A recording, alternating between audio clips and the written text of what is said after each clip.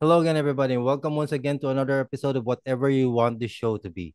I'll be your host for today, Christian Tejares, and with me is my co-host, Christopher the Non-Stopper, the king during a conversation, jovial banter. He's too early for tomorrow, and tomorrow is too early for him. The great Christopher Short. Hey, Chris, That's okay, man. Yeah. how's it How's it going? going? I'm good. I'm good. Yeah, over the past weeks, like R.I.P. Drake. Yeah. I just Like, have watched a you been video. have you been catching up? A lot of Drake media now. Yeah. I, I, I watched a video uh earlier where um what's his name? There's this guy in Canada in Toronto. He went around asking if uh Drake or Kendrick, and he got some interesting responses. Was it majority of Drake for Kendrick? Yeah. And he's in Toronto. The West Coast invading Canada. to be fair, you can make those videos like you can you can just use the people that said Kendrick, right? Like obviously you can make it look one way or another. But I think he did really good with the non-biased. Um, a couple people And would gave explanations and stuff. It was interesting. and you would think some of those people that were asked were actually just trolling. Like, Yeah, you'd be surprised the amount of people that chose Drake just because he's from, you know, like you got to support your hometown, yeah. whatever, whatever. It's like, bro, like the allegations. The one lady had something really, I thought really good to say about the whole Drake and the children type thing, where she was It was like, never actually answered, by the way. yeah, where she was like, I would rather believe a liar than a pedo, Oh, that's just sad. right? You know, because you know, what if, if you know, I would much rather say, oh, I thought Kendrick was telling the truth, and then come to find out he's not, rather than, oh, I believe Drake, and uh, apparently it's true. Yeah, how would you even prove otherwise, right? I don't know. I don't know. Like, like how would you bring up receipts for that kind of thing? I'm interested to see how his next project, how both of their next projects do. Like, will Kendrick's go up? Will his go down? Like, what's going to be like the, because that's really what it's all about, right? Yeah, but K Dot did mention that how many diss tracks did there, he actually released? Was it five? He Oh, it was, mentioned that he has five more, which is exactly how many uh, an album contains. Like, yeah, is it just gonna be containing all Drake diss tracks on that album? that would be a first, an entire album dedicated to dissing one person. And Taylor Swift spreads it around, right? Yeah, yeah, she does. Yeah, that's a good people point. people tend to forget that diss tracks are are not just confined to rap. Yeah, you're right. Taylor Swift built her whole career on diss tracks, but they're they're subliminals. She I never like, think she never like like directly says anyone's name, but everyone knows who. even if she doesn't actually directly tell the name to people, like everyone knows her life because she's pretty much in the limelight every time, Yeah. especially her relationship. So I, I seen a report on uh on something. I don't remember where it was, but it was like Taylor Swift has a hickey after a weekend with Travis. It's like, okay, how is this? Why is this news? How is this a thing? new album drops July 5th. Yeah, yeah. Eminem apparently has a new one coming uh the end of May.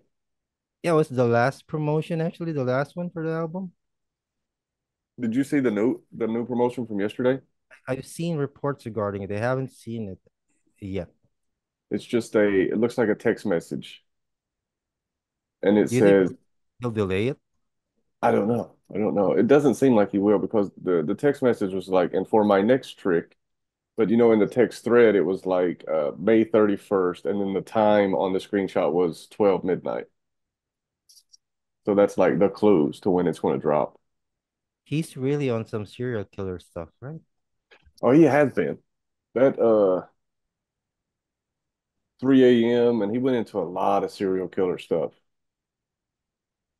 Well, But now apparently he says this is the death of Slim Shady. So I just hope to God he's not political. Like, please don't be political because nobody gives a shit. I don't, yeah, it's I, I guess everywhere. I don't want it in my music. It's it's the fans' fault regarding that. They've they've always criticized him of not actually saying anything in his in his I don't know. He was he was pretty vocal, man. When he did Mosh, White America, those were pretty politically driven songs, but it wasn't. I think he just overreacted and did an entire album. Was it Relapse or Recovery that he did that? Oh, It was Recovery, right? entire album on what? The entire album was straight up uh propagandas. Ah, It's during Trump, right? he did a freestyle The and said a bunch of shit. Yeah. Yeah, he did it. Yeah, and it was just not a good look, man. Like 15 years ago, you were calling everybody fag and you were murdering your mother, and now all of a sudden you're holier than thou. Like I don't need that from you. Yeah. But people do mature. Like we tend to forget that. Even though that was per- his persona before. Like Yeah, everything about music is shock value. Like yeah, and speaking of shock value, like I don't think people will be shocked with the news that we'll be bringing to them now. I Like might be. news today comes to us from Tech Times writer Aldon Domingo, titled AI music generator Suno hits high note with a $125 million funding round. Suno, an artificial intelligence model for music, has reportedly announced a successful funding round that saw the music firm securing 125 million. With Suno, users may reportedly compose entire songs using straightforward text instructions for lyric and title generation.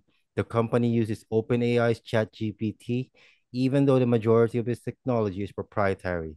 According to the company, Suno has several consultants, including, including musicians Flores, uh, Flosstradamus and That's Freelau. The business will reportedly use the money to expand its staff of technologists, musicians, and music makers and expedite product development. And my question for you, Chris, how hard do you think will this shake up the current landscape of the music industry? um, I think it'll shake it up. I think it'll also it may just introduce a new aspect. It's going to be kind of like when auto tune came on the scene. Yeah, but auto tune is just a segment of a music, right?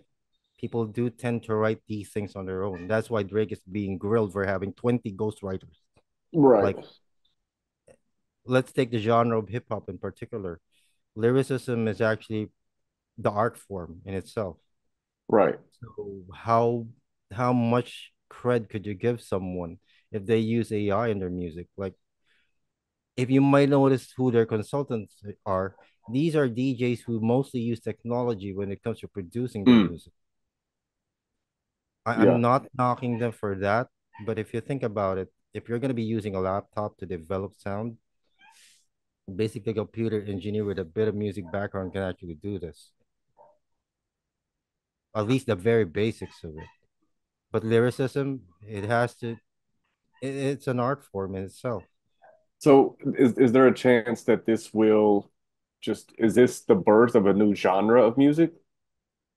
Like if you think about it, did autotune actually birth a new genre of music? It's just R and B with autotune. Kind of, but I mean, and honestly, T-Pain killed the whole auto-tune thing like he was top of the world. Uh, I just watched him do, I just watched a live performance of him do, doing uh Tennessee Whiskey. Yeah. Bro can sing his ass off. There, he never needed iTunes Yeah, or never iTunes. needed Never he wasn't uh he wasn't the mass singer before. Like bro, he can sing his ass off. totally unrecognizable.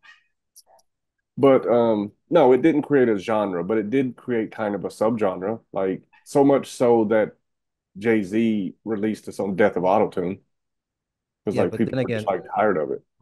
With with the autotune and stuff, like let's give credit where credit's due. Cher actually started this autotune stuff, not T-Pain. Really? T-Pain just magnified everything. Cher started with Believe, right? She never actually used it ever since. Is that not her voice? That was autotune. Do you she used it as an effect rather than an, a crutch, Right. right? It was supposed to autotune was actually developed for submarines to actually coincide with sonar. Okay. So she managed to use it in a way in music. Like if you think about it, autotune was never actually gonna affect the music industry because these lyrics are still gonna be written and created by the artists themselves. Like Right. Even if T Pain actually uses autotune, he still has to do the work. He doesn't have to type what he wants in the computer, and the computer will just do his work for him. Right, right, right, right. So, I mean, well, if we want to make comparisons, I think this would be this is similar to the shift that happened in the 80s where people went from actually playing instruments to synthetic sounds. You know what I mean? Like, and now you have beat makers like the, you know, they don't play instruments, but they're, you know, they know how to use the equipment, right? So I don't, can anyone make a song? Yes. Can anyone make what's going to be considered a great AI song? Like this yeah, is regarding regarding the beat stuff, when they go to the studio, uh, like there are some people who can actually play instruments who actually produce music, and some of them can actually be like there are people who don't understand music the way musicians of a higher caliber actually do. Like Hmm. they can understand sound, what they hear, and can reproduce it when they're actually playing. Like when I started Right, playing music, I started with that, not even actually knowing what a chord is. right.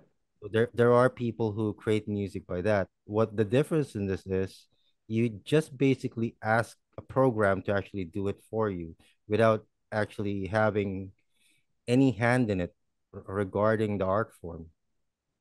So you're saying it minimizes the, it's kind of an insult to real artists, maybe.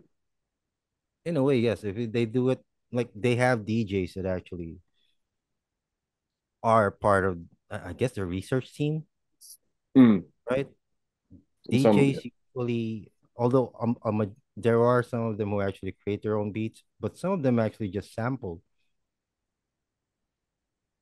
So is this AI just gonna be sampling from existing music and just bunching it up? So when is this? Because I'm interested. It's, and I was looking at, uh, so it's free. You get 10 songs a month. Yeah, just to clarify regarding this, those who sign up for the free plan are limited to 10 songs each month, which is an entire album if you think about it. One album in a month. Yeah. The SoundCloud is gonna be riddled with this, Oh God. right? It, it Those who is. sign up, yeah, go ahead. No, go ahead. Yeah, those who sign up for the Pro and Premier plans will cost $8 and $24 respectively, are allowed to make up to 502,000 songs per month, respectively, and are granted general commercial terms. Now, if you browse through SoundCloud, if you browse through Spotify, like, although it's easy to create music, Hmm. like, not a lot of them actually do well. Right. I figured all this would do is just create more congestion when it comes to people's choices. For sure. And I think just, I think by nature, this has and will create a new genre, right? And then you're going to have subgenres. You're going to have AI generated music, right? It's going to be like EDM and hip hop, right? These are different types of music. Now, AI generated music, then you're to have subgenres, AI generated hip hop, AI generated jazz, AI generated rock. Like it's just going to be that they have to do this thing, right? You can't produce it with AI and then claim or maybe not even claim, just ignore the fact that it was produced by AI, right? That's a little deceiving to potential fan. I hope this isn't fully automated, like at least have a semblance of humanity when it comes to using it. Like I mentioned this regarding DJs, they do sample, but they also show a bit of artistry in how they actually piece together the music that would sound a bit more different and has a much more different feel to them. Hmm. Like if I I, I can give an example, like Hadaway, uh, Eminem using Hadaway for No Love with Lil Hmm. Wayne, right? Yeah. Everyone's familiar with that music, but once it's actually converted to hip hop, hip hop, the music actually feels different Right. because the sampling was used in a different way, in a different genre. Like that type of thing, I think it's a good step for DJs to actually be brought in. At least it would be in their best interest for this not to be fully automated because they would also be out of a job. True. True. And like, where do they get? Where are they? Like, how did they sell this to be able to get 125 million in funding? Like, who's who's going to benefit from this? Like they have received, I guess, funding from a couple. Like they, they Suno gave a statement like Lightspeed Ventures Partners, Matrix, Founder Collective, Nat Friedman, and Daniel Gross, whoever these people are. Like I would give them the courtesy. I will be researching them later after this podcast. Maybe I am wrong. Maybe they are really influential and are clearly uh, authorities in this field. But Sony is actually giving a warning regarding AI that this thing is going to be a problematic topic for musician recording companies. Like they hire producers and digital firms to actually do the service, which can mm. actually be done for free now. Do people suddenly lose royalties because of this? Like, although, and this is Sony, by the way, they would benefit from it, from using it mm. by cutting costs, but they are at the forefront of being actually against this, or at least giving out a fair warning to people. Well, I think I think the point you made about SoundCloud is probably the the same direction most other people are thinking. Like this is just going to saturate it, right? It's going to be there's going to be so much shit now. It's going yeah. to make it even harder for legit artists yeah. to pop because first off, for the first few weeks, if not months, then this is going to be, you know, everyone's going to be. I'm going to listen. I want to know what it sounds like. God damn, this was this is AI generated. This is good. Or obviously, this you know we're going to want to explore and see for ourselves. So for the first few weeks or months, other legitimate and established artists may see a drop, which obviously is not, you know, not ideal. But my question is, we say 125 million. What even is that? Like yeah, that's where does even not, the money go? Where does even the money go from there? But I mean, I don't even think 125 million is that much anymore. Yeah, but for what use are they going to be using it for? Like, right. could the technology be that deep for them to actually spend 125 million? Well, I like guess basically this question. Basically, it's this question: Why do you spend 300 million for a movie? Mm. Yeah, to recoup. Like, it's the similar situation if we think about it. Like, is this just over budgeting for something that could have just cost very little. Like they already have the tools in there. They did say they will be using Chat GPT's proprietary feature for the lyrics. Now, what scares me about that? There's there are gonna be a bunch of copyright claims when this is launched. Well, 125 million could pay a lot in lawyer fees. Yeah, is that just gonna be the safeguard for them? 125 million for lawyer fees? I mean, and they and take note, it's once I, I guess it would be in the fine print. Once people actually use this, responsibility is no longer within OpenAI regarding the use, or Sony no. for that mm. matter. So it's a risky thing if you're a musician. If you're a musician, you wouldn't be using this. No, I think. I mean, maybe aspects of it, right? Aspects of it, yes. But like the lyric generation, the title generation, to me, that's like. We just had a case regarding Ed Sheeran, right? Regarding copyright claims on the Marvin Gaye estate. Like, yeah.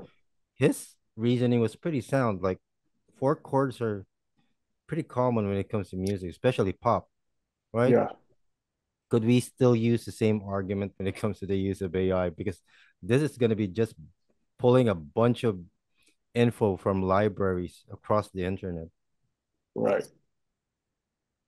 We've already had this issue before when we discuss uh like AI using chat. Right. On how they actually provide information regarding questions, how it creates more confusion, how it doesn't actually give exact answers. But what happens if you ask an exact answer and it gives you an exact result? Eh, regarding music. I don't know. I, I mean, I'm tempted to subscribe to this thing. Like it's you what is it? Eight it out. bucks? I mean, it's eight dollars. You know what I'm saying? Or even just the free one. I mean, I still get 10 free songs. Yeah, like I said, it's an entire album for a month. Yeah. And it may be interesting. Oh, Suno's already up. All right, let's see. Uh, make a song about anything. Oh shit. All right. one advantage I can see of this is it would make it would be advantageous for really good artists, like uh, undiscovered ones who actually have an ear for music. Hmm. But it would also cause a lot of ears to bleed if the bad ones actually create 10 a month. Right. Uh, I'm gonna play with this after this after we finish here because I didn't realize it was already up and ready to be used. But um, I mean, creating one. Send it to me and let I guess in the next episode let's try playing it. all right, yeah, we'll make See one if about. Uh, see if what other music it actually sounds like. yeah, I mean, there's no copyright infringement there, right? Like it's mine. Yeah, until someone actually claims it. Like there are artists right now that are being haunted by copyright claims from the 1940s and the 1950s Right. without them actually intentionally doing it and are not familiar with that song. Like I don't know the case of Mark Ronson regarding Uptown Funk and whether he's actually aware of it. Hmm. Like that's another case. Yeah, yeah, Bruno. I, well, no, I think Bruno did. I I think he didn't realize what he was doing, but he he didn't. The problem was he didn't give props to anybody. Like no name drops, no nothing. And it think was he was aware because Mark Ronson was the one who produced the beat for this that one. well, there we go. Mark Ronson. What is he? Colonizer? Is that the word we use these days? Mark Ronson, colonizer. Right? He's a white dude, right? Is, is he a vult culture vulture? It reminds me of the current internet beef between two YouTube rappers right now. Hmm. Like the main angle is a black rapper versus a white rapper. Yeah. Racist And angle versus a colonizer angle. Like after three songs, I actually tuned out. yeah, it's uh, it's weird. I didn't like it. Like it's gonna be interesting right now that this is actually coming up when Drake is not lo- no longer in the picture. He could have used this. Right. May, may, might be more budget friendly for him than having 20 ghostwriters. True. Eight bucks, 10 songs. What a steal. Yeah. Okay. So you can. Okay. Just for the podcast. Uh, so if you want to use custom lyrics, right? Uh, Yeah. please accept our. You get this this pop up. Um, and you have to accept. Suno is designed for creating original music. Please confirm you will only submit AI generated lyrics, original lyrics, or lyrics to which you otherwise hold rights to continue or, or hold rights to continue. Yeah. So there is this. Yeah. Except, What does even original lyric actually means? well, I guess you can't like go to like lyrics.com or whatever and just copy and paste somebody else's lyrics from a But from there a are all to it. You know what's the most overused bar when it comes to rap? what? I'm playing chess and you're playing checkers. That's a yeah. That's one. Yeah. So you you could already imagine if it's gonna be having that type of lyrics. So when it comes to custom mode, you start with lyrics, and then you choose a style, and then you extend your song. I think I've seen some of some of these. Like there are Eminem type AI generated music online. Uh, enter style of music. Oh, I can just enter whatever I want. I can do the title. Okay, yeah, I want to make one of these uh, later when we finish here, just to see see if it's any good. And yeah, maybe we'll we'll play a snippet in the the next episode. Then we got cap uh, copyright claimed, right? We can do a uh our intro. You can do like an intro for the the Yeah, yeah. for the I podcast. that. Hopefully it turns out good, right? Oh, well, I mean, it is I get is 10. I get 10 chances. I get 10 chances this month. Okay. So, It is know, it is really kind of tempting if you think about it, right? I mean, it's it's great. It's it's it's fun if nothing else. Think It, about it. You can make a song for your wife. You can make a song for your kids. You can make a yeah, song for your birthday. but when we actually previously discussed regarding AI being used for another media, there will also there will now be a tagline on whether an artist is actually really good or is it AI actually doing the work. Well, I think um I think artists will, I mean, it's a competition now, right? It's, you know, Yeah. it's it's um, you know, it's uh what's his name? Paul Bunyan versus the Chainsaw. Yeah. Like before the competition was actually album sales. Now it's just legitimacy of being a musician. Yeah. And you're going to have the purists that say, I don't listen to AI music. And then you're going to have, you know, Gen Generation Alpha who's never heard a, an original song in their lives. Yeah, uh, and we don't have a definition regarding AI music because what is even the difference of it? Mm. I mean, That's should there be a tagline like DJ Khaled, like every time a song comes on, it's like, this is AI generated. And then it goes into like if you think about it, there should be, right? Like a digital fingerprint something. some sort for these type of music. Because I mean, how's this gonna, are we gonna, is there gonna be a, is there gonna be a category at the Grammys for best AI generated song? You know what I mean? Like, where does this end? It's gonna it's gonna be the presenter Siri, like Hey, Siri and Alexa Siri and squabbling a little bit. Alexa, Um, I mean, and then you be you look at you look at like movies, right? You look at movies. You can pay nothing basically, and you can do your whole soundtrack for a movie for free, 10 songs. Yeah, have we have ever had an AI generated movie before? Oh, I guess so. Captain Marvel. oh God. AI should be embarrassed. Like uh, in all seriousness, have we actually experienced AI being used in media, in commer at least commercial ones? I mean, We haven't yet, right? no, not that at, I know. like at least if we we have, we, we had no idea it was.